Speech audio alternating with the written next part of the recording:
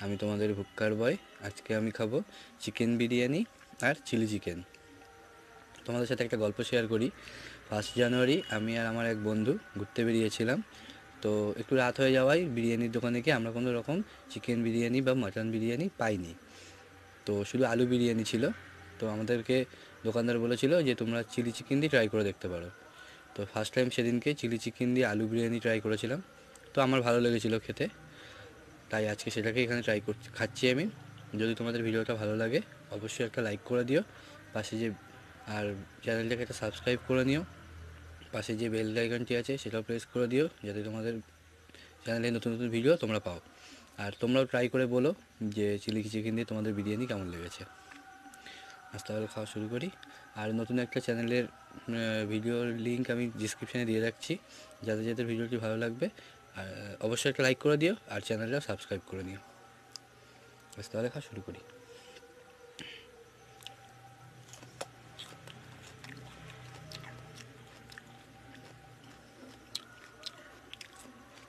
Mm-hmm.